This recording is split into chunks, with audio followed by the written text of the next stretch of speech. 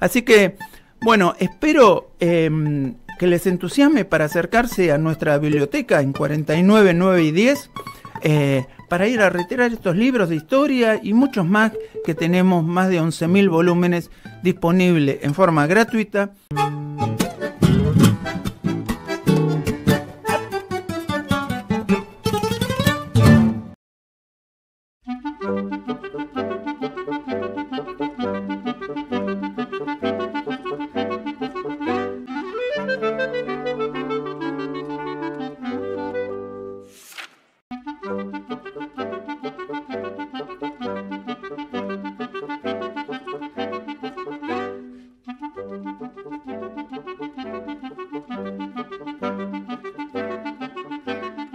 Para ir repasando con, ustedes. El primero que traigo, eh, ustedes lo conocerán, es Felipe Piña. Hay toda una serie de libros que se llaman Los mitos de la historia argentina. Eh, en la biblioteca están todos los libros de Felipe Piña, los distintos libros, publicaciones que ha hecho Felipe Piña. Eh, como ustedes saben, eh, Piña es director del Centro de Difusión de la Historia Argentina de la Universidad General de San Martín, pero además es este, eh, director de la revista Caras y Caretas y tiene una gran actuación en la divulgación eh, de la historia de nuestro, de nuestro país.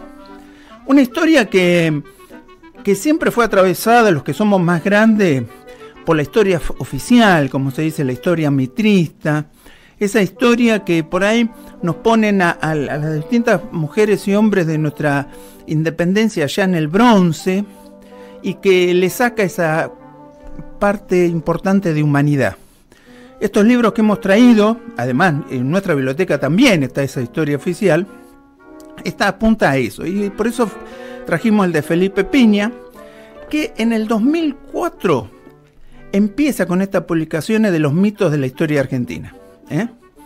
O sea, y, lo que ha logrado es acercar a, miles, cientos de miles de lectores ¿eh? Eh, a, empezar a, escarbar, a interiorizarse sobre esta escala humana de mujeres y hombres, héroes de la patria, que, mm, que construyeron, dieron los primeros pasos de nuestro país. Y este libro, Los mitos de la historia argentina, el que traje yo hoy es La construcción de un pasado como justificación del presente, eh, intenta acercar a nuestra gente esa historia. Así que es, eh, es, para disfrutarlo eh, y yo traje para leer alguna, alguna parte de este libro y donde él dice en un apartado de este libro dice, la famosa Semana de Mayo estuvo muy lejos de ser un apacible tránsito de vendedores ambulantes y damas antiguas, como se nos enseñó prolijamente en nuestras tiernas infancias. Estaban en juego muchos intereses, nacionales y extranjeros, y las pasiones, y algunos casos legítimas, y en otras unidas directamente a los bolsillos. Y ahí va a desarrollar en esta parte, que es la construcción de un, pasado, eh, en este libro va a abordar desde el descubrimiento de América hasta nuestra independencia del 9 de julio de 1816. Eh, y él habla en una parte que dice, la historia de un país es su identidad, es todo lo que nos pasó como sociedad desde que nacimos hasta el presente. Y allí están registrado nuestros triunfos y derrotas, nuestras alegrías y tristezas, nuestras glorias y nuestras miserias, ¿eh? como en un gran álbum familiar.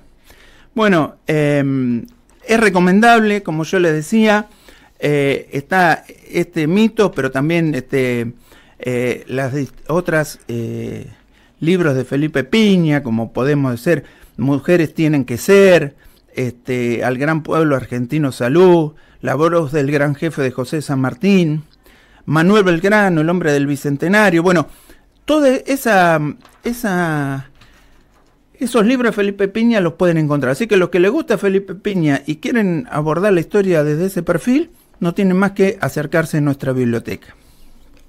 ¿Mm? Otro libro que traje, he traído varios, vamos a ver cuántos, cuántos vamos a estar pasando, es un libro que eh, tiene su historia.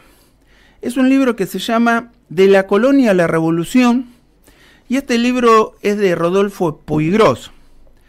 Digo, para los que somos más grandes, eh, lo hemos seguido a Puigros, eh, pero les voy a hacer una breve semblanza de él. Puigros fue un gran escritor, historiador, periodista y, político argentino. Él fue redactor de un diario muy importante eh, desde el 35 al 55, que es este, el diario Crítica, ese diario de Natalio Botania, eh, que fue muy importante para la construcción de, ese periodismo y de esa información de esos momentos, un momento particular del país. ¿eh?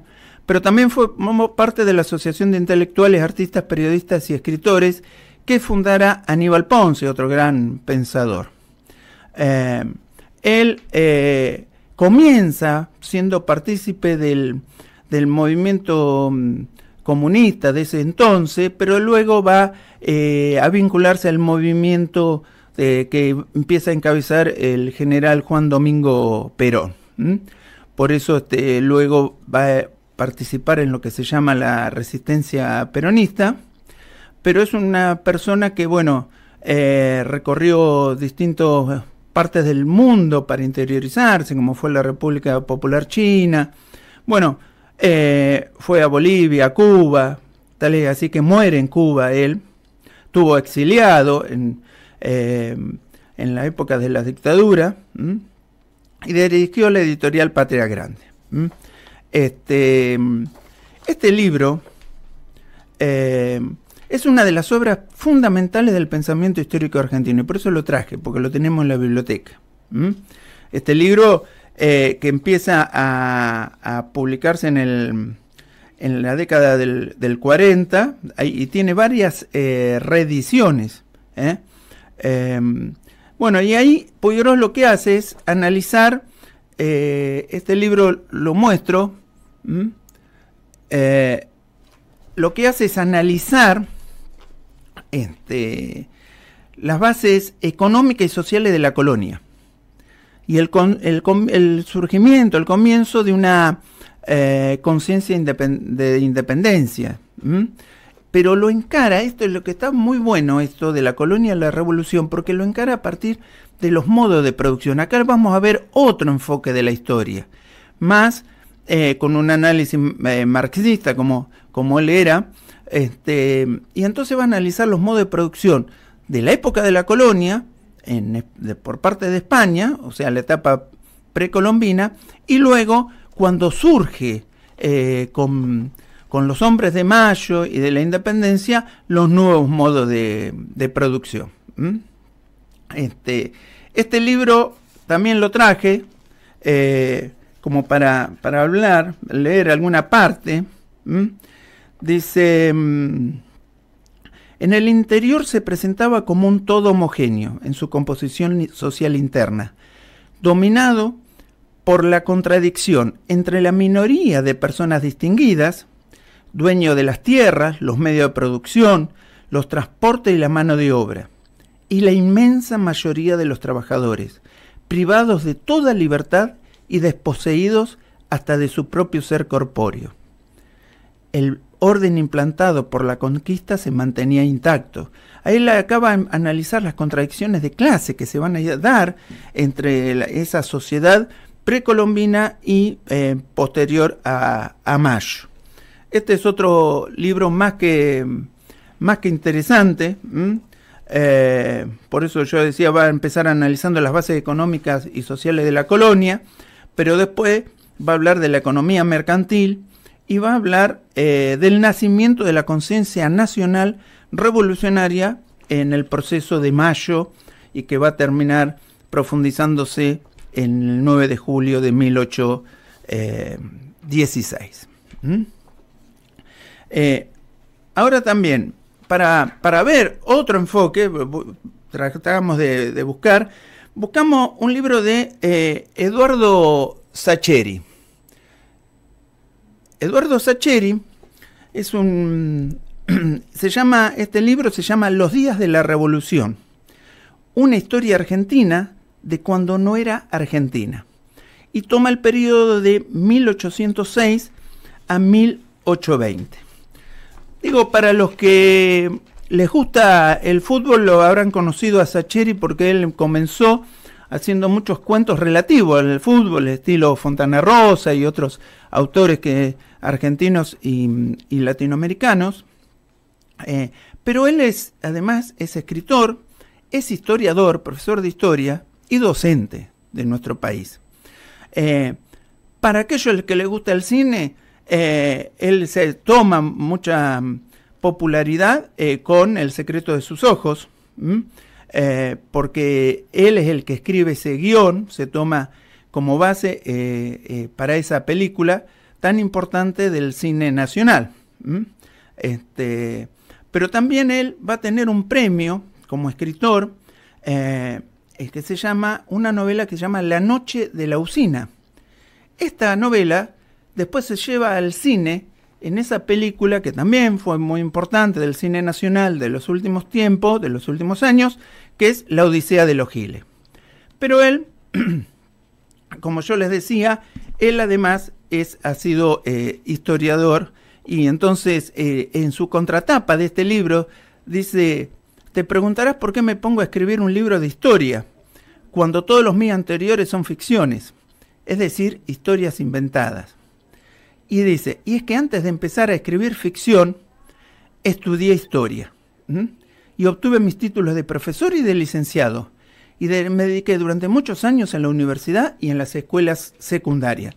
Bueno, este es otro perfil, muy ameno, este libro, para, para leer sobre, sobre la parte de los días de la revolución.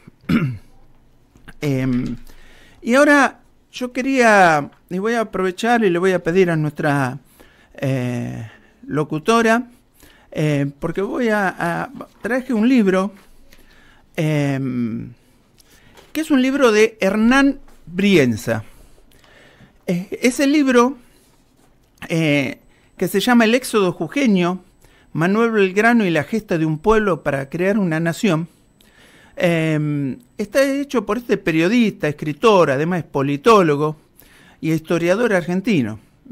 Él tiene muchas obras, ha escrito, sobre muchas eh, figuras importantes de nuestro país, como Alfredo Palacios, John William Cook, sobre Silvio Frondizi, eh, sobre el Che Guevara, bueno, también sobre Nahuel Moreno, bueno, y otros latinoamericanos, como es el caso de Facundo Martí, como Camilo Torres eh, y otros más.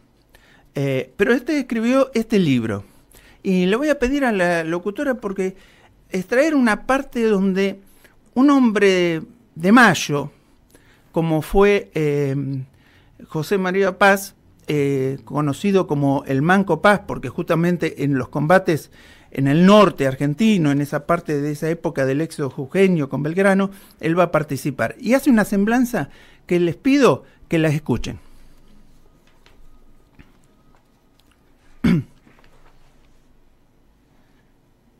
A ver, a ver si me da el aire para...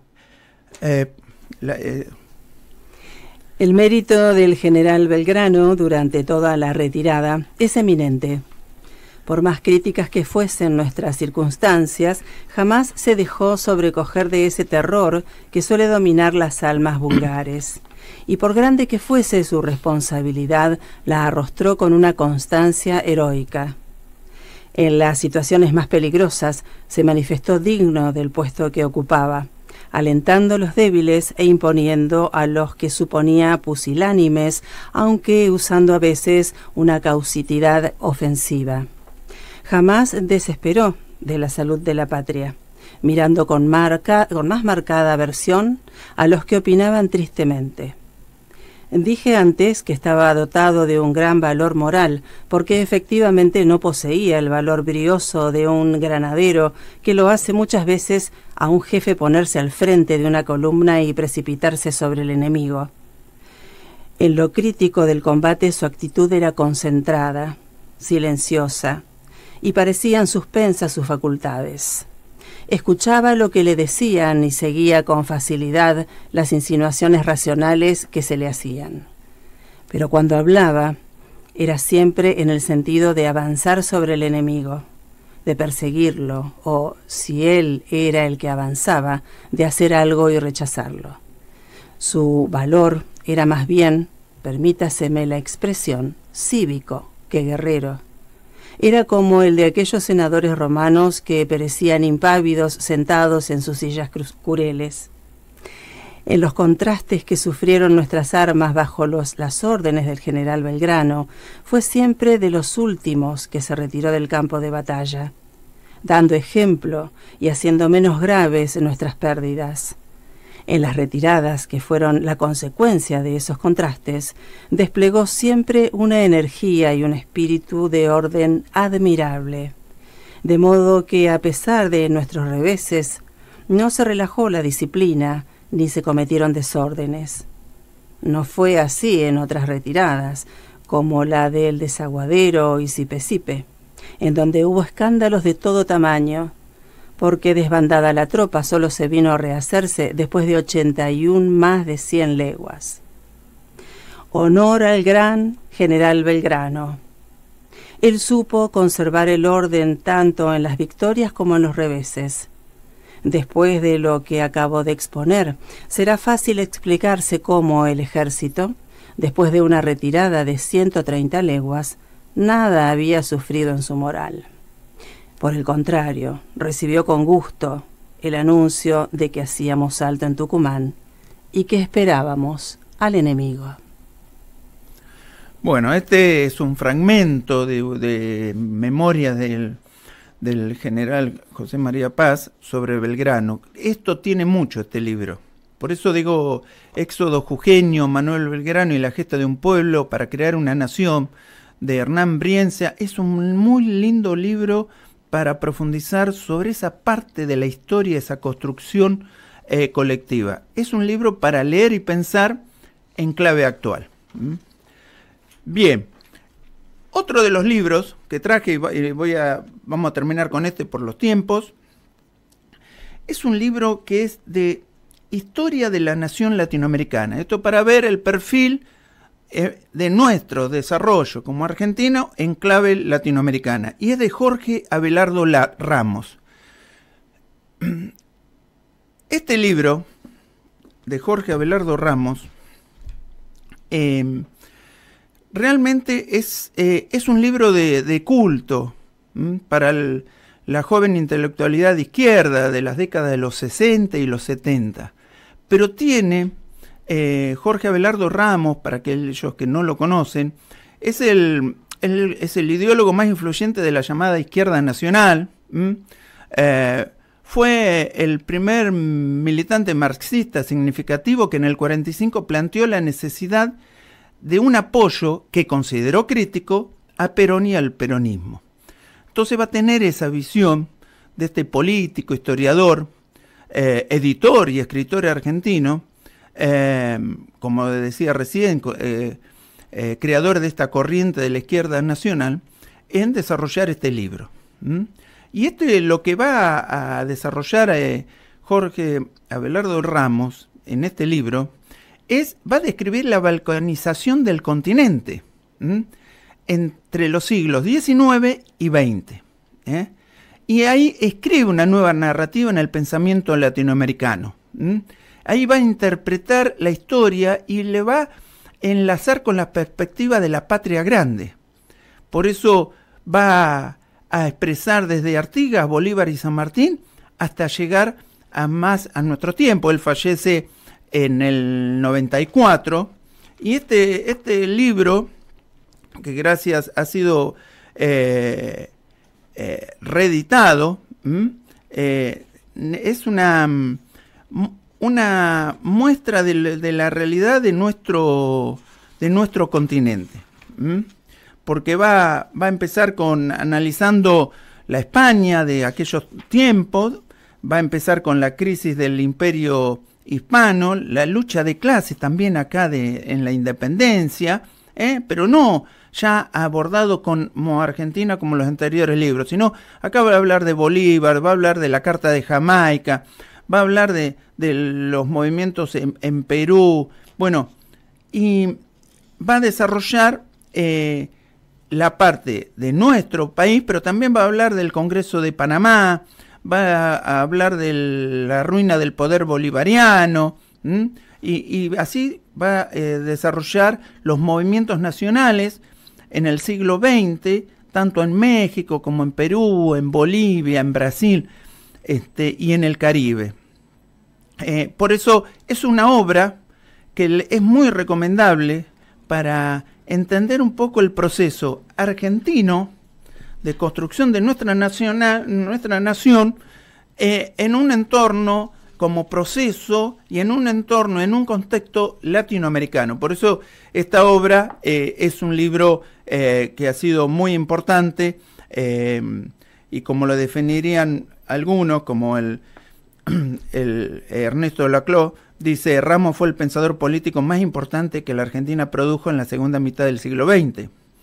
Eh, y hoy muchas de sus teorías son moneda corriente, porque ya han sido aceptadas, pero no se aprecia el coraje intelectual y político que implicó plantear estas teorías en ese momento. Entonces ligó la perspectiva revisionista a un pensamiento de izquierda.